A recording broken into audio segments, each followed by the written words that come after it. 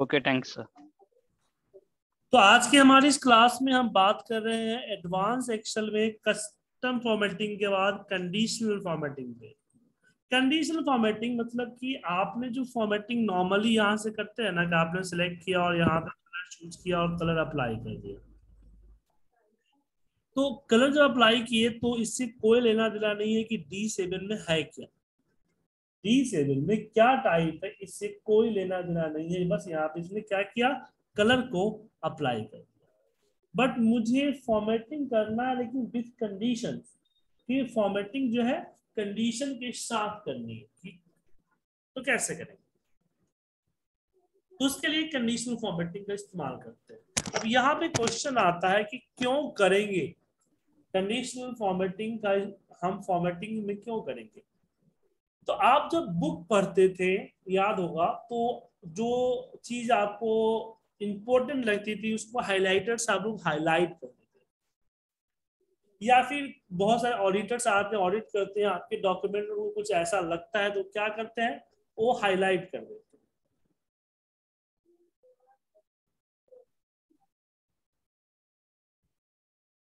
ठीक है? Yes sir जल्दी जो आप अनम्यूट करेंगे तभी आप आपकी आवाज़ मुझे आएगी। आप म्यूटेड है।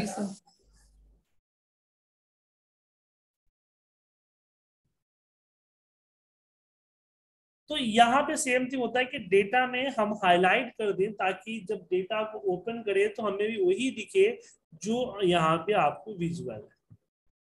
सेम चीज़। कोई और चीज़ ना दिखे।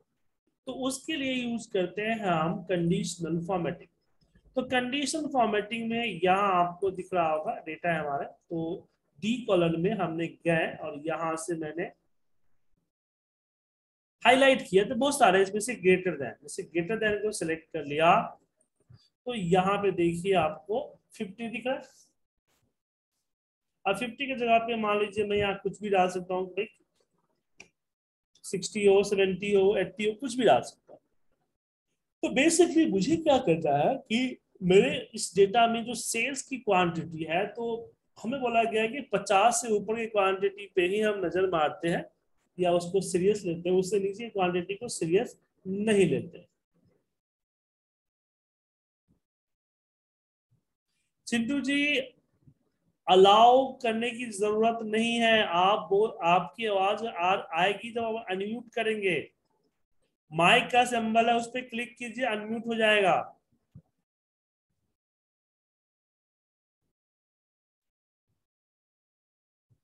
हेलो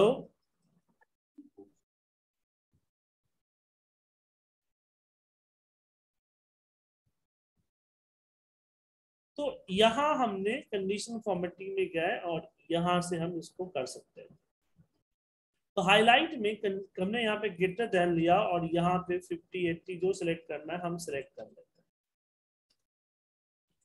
अब इसके बाद यहाँ पे आपके सामने आता है कि आपको येलो करना है। आपको ग्रीन करना है, आपको रेड लाइट करना है, आपको जो करना है, आप यहाँ से अपनी फॉर्मेटिंग को चूज़ कर सकते हैं। फॉर्मेटिंग चूज़ करने के बाद आप यहाँ कस्ट आप मान लीजिए इसमें से कोई फॉर्मेट पसंद नहीं है, मुझे खुद की फॉर्मेटिंग चाहिए तो कस्टम फॉर्मेट में आ सकते हैं। और इस कस्टम फॉर्मेट में आने के बाद आप जो है यहाँ से अपनी फॉर्मेटिंग चूज़ कर लीजिए, जो फॉर्मेटिंग आपको करनी है। जैसे मुझे यहाँ पे ग्रीन ब्लू लेना है तो ब्लू को सिलेक्ट किया एंड ओके किया तो देखिए यहाँ पे आपका ब्लू सिलेक्टेड हो गया। ठीक है? ब्लू हमारा तो हमने जैसे ब्लू कलर किया था इसलिए ऐसा आया। आप यहाँ पे गेटर दैन जाके और यहाँ पे आप फॉर्मेट में टेक्स्ट वगैरह जगह पे फिल कलर में हमने क्या किया? कोई और कलर दे दिया। येलो दे दिया। तो ग्रेटर देन 50 जो है, वो येलो कलर से हाईलाइट हुआ है। और हाईलाइट होगा ही नहीं, साथ में उसको मेंटेन भी रखेगा। जैसे कल के डेट में अगर मान लीजिए 35 45 हो जाए आपका 55 हो जाता है तो कलर अप्लाई हो जाएगा। और आपका 52 मान लीजिए 25 हो जाता है तो कलर डिसअप्लाई हो जाएगा। तो कंडीशनल फॉर्मेटिंग जिस कलर अप्लाई नहीं करता है, वो हमें आपकी कंडीशंस के अकॉर्डिंग कलर को मेंटेन रखता है। तो क्या क्या है? तो एरिया सेलेक्ट करने के बाद कंडीशन फॉर्मेटिंग के हाईलाइट कैटेगरी के अंदर में आपको यहाँ दिख रहा है ग्रेटर देन मतलब किसी नंबर से बड़ा, कोई भी नंबर से बड़ी वैल्यू को आप यहाँ से हाईलाइट कर सकते हैं। लेस देन किसी वैल्यू से छोटा और बिटवीन दो वैल्यू के बीच में, जैसे मैं चाहता हूँ कि यहाँ पचास से अस्सी वाला हाईलाइट हो। तो फिफ्टी टू एट्टी यहाँ देखिए हाईलाइट और इक्वल टू होता है एग्जैक्ट जैसे मान लीजिए थर्टी को हाईलाइट करना है तो थर्टी वाला ही हाईलाइट होगा। अब यहाँ पे ध्यान रखिए कि आप जो है greater than less than between तो तीन चीज़ मैंने आपको बताया, इसमें आप अपना नंबर डेट और टाइम डाल सकते इसमें आप टेक्स्ट नहीं डाल सकते greater than Pooja greater than Ravi ऐसा नहीं कर सकते। हाँ डेट डाल सकते हैं। पर डेट कैसे डालें? जैसे यहाँ पे डेट डला हुआ है, मैं चाहता हूँ कि 30 मार्च के बाद बाई डिलीट हाईलाइटेड तो यहाँ हम ग्रेटर देन पे जाते हैं और यहाँ तीस स्लैश मार्च कर देते हैं हो गया सर? इस तरह से आप बिटवीन लेस देन आप कर सकते हैं। हाँ लेकिन सर इस केस में ईयर नहीं कैच करेगा ना मतलब this year next year year आप डालने ऐसी बात नहीं है। आप ईयर डाल सकते हैं। मैंने ईयर नहीं डाला तो करेंट ईयर ऑटोमेटिक ले लिया वरना आपका अगर प्रीवियस ईयर नेक्स्ट ईयर का है तो आप इसमें ईयर डालिए अपना। ठीक है?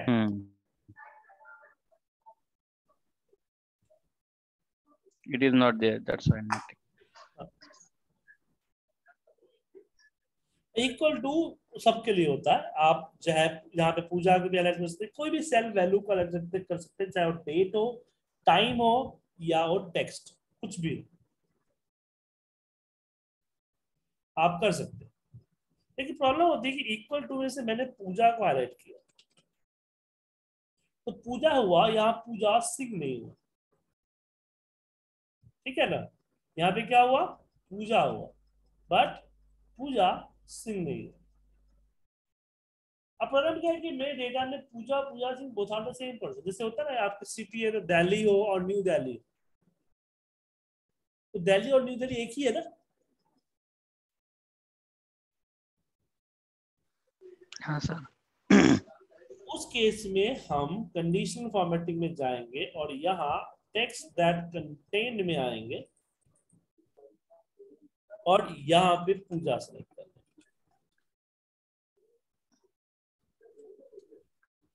ठीक है? पूजा सेलेक्ट कर लिया आपने? हाँ सर जी सर तो यहाँ हमने पूजा सेलेक्ट कर लिया और यहाँ देखिए आपका सामने देखा दिख रहा है।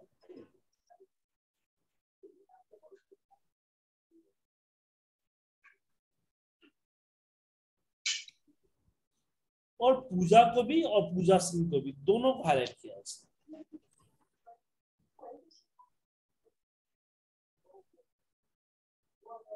डेट ऑफरिंग में होता है। सॉरी टेक्स्ट कंटेंट में। डेट ऑफरिंग क्या होता है? जैसे कि मैंने आज की डेट हाईलाइट कर दी है तो हमने क्या किया? इक्वल टू में गया और यहाँ पे हमने आज की डेट मान लीजिए अट्ठाईस है तो अट्ठाईस और यहाँ पे मार्च लिया। देखिए अट्ठाईस मार्च यहाँ हाईलाइट हो ठीक है। ठीक है सर।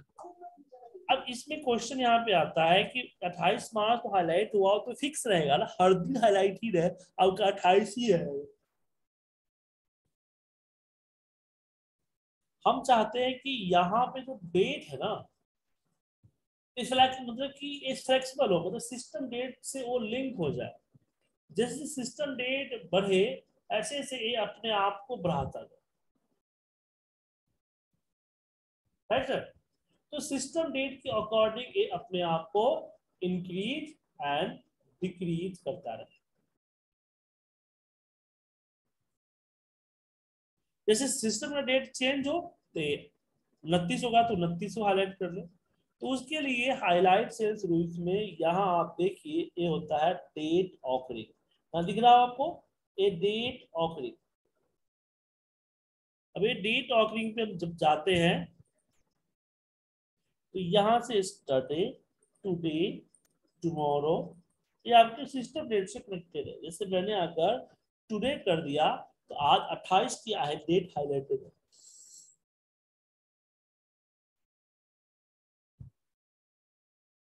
कल जब इसको खोलूँगा तो ऑटोमेटिकली उनतीस हो जाएगा। परसों खोलूँगा तो ये तीस हो जाएगा। इसी तरह से बाकी भी है यहाँ पे है कि tomorrow in the last tomorrow मतलब कल की date the last seven days, last week, this week, next week, last month, this month, next month, आप इसको हाईलाइट कर सकते हैं। समझ गए? यस सर जी सर इस्तेमाल आप अपने हिसाब से कर सकते हैं कोई प्रॉब्लम नहीं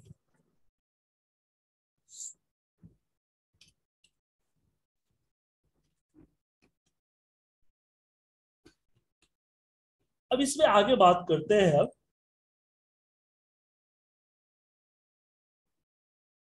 किसी सिलेक्टेड एरिया में आपको ऐसा लगता है कोई number more than one time है या कोई name more than one time है तो डुप्लीकेट वैल्यू ले सकते हैं। जो भी value more than one time होगी, वो आपको हाईलाइट हो जाएगा। जैसे मान लीजिए मैं के कॉलम में यहाँ अकाउंट नंबर लिखना चाहता हूँ। और जैसे account number more than one time होगा, वो हाईलाइट हो जाएगा डुप्लीकेट वैल्यू पे क्लिक करके ओके कर दीजिए। जैसे मैंने यहाँ पे वन लिखा तो ठीक है। यहाँ टू लिखा, ठीक है। जैसे मैं वहाँ पे वन अगेन लिखूँगा तो ऑटोमेटिकली देखिए दोनों वन हाईलाइट हो गया। एक और तीन तो जो भी होगी, वो हाईलाइट हो जाएगी। तो जो भी मोर देन वन टाइम होगी वो आपका हाईलाइट हो जाएगा। ठीक है सर यस सर जी सर तो इस तरह से आप इसको हाईलाइट कर सकते हैं। तो ये आपका क्या था? डुप्लीकेट वैल्यू था। डुप्लीकेट में आपका यहाँ यूनिक भी होता है। जब डाउन करेंगे तो यूनिक भी होता है। अब मुझे कंडीशनल फॉर्मेटिंग जो पहले से लगी हुई है मुझे उसको रिमूव करना है। तो यहाँ आप जो कंडीशनल फॉर्मेटिंग में सबसे नीचे आते हैं तो क्लियर रूल्स दिखेगा।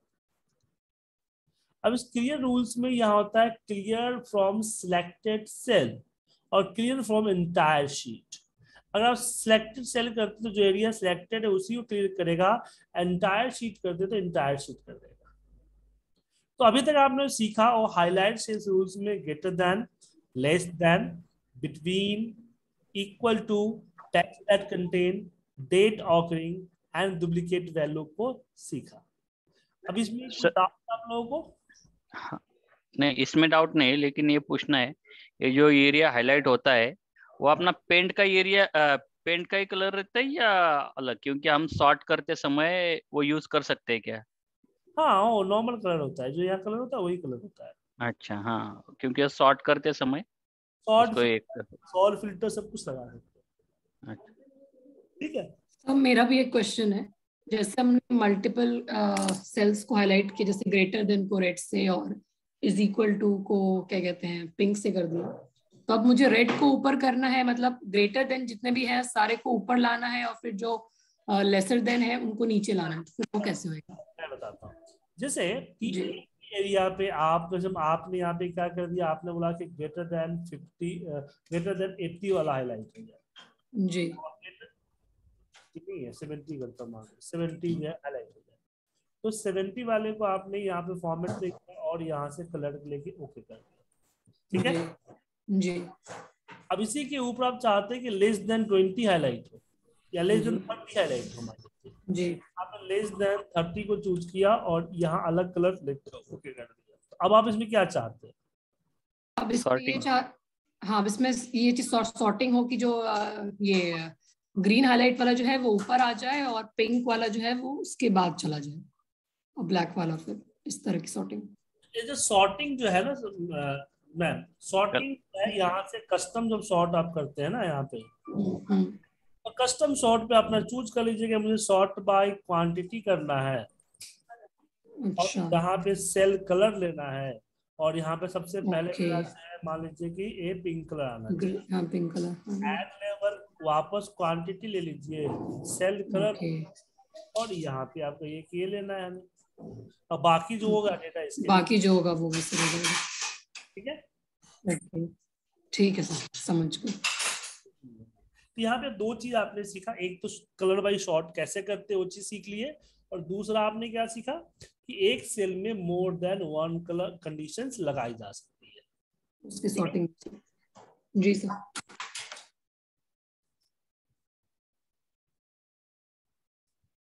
अब दूसरी कैटेगरी है, उस पे आते हैं। दूसरी कैटेगरी यहाँ पे है टॉप टेन अब मैं टॉप टेन पे क्लिक करता हूँ तो जो इसके टॉपर्स होंगे, जैसे टॉप टेन कर दिए तो टॉप टेन हाईलाइट होगा टॉप ट्वेंटी कर दीजिए टॉप ट्वेंटी हो जाएगा टॉप थर्टी कर दीजिए, जो भी आप नंबर डालेंगे हाईएस्ट जो होगा, वो हाईलाइट कर देगा। जैसे मैंने टॉप फाइव लिया और ओके कर दिया। तो टॉप फाइव इसने हाईलाइट किया कि देखिए, पहला सतासी है एट्टी नाइन है टॉपर्स में आते हैं। ठीक है? तो टॉप फाइव को हाईलाइट कर दिया उसी तरह से यहाँ आपके सामने बॉटम फाइव है तो बॉटम फाइव को भी इसी तरह से हाईलाइट करेगा।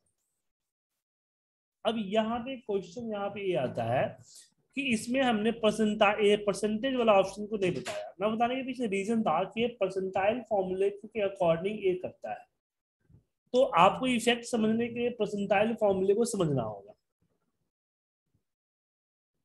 जो कि हमने अभी बताया नहीं है। तो ये चीज़ें हम आपको अगली क्लास में समझाएँगे। अगली क्लास में तो कि जो परसेंटाइल फॉर्मूला फॉर्मूले क्लास होगी, उसमें समझाएँगे। अब बात होती है अब अब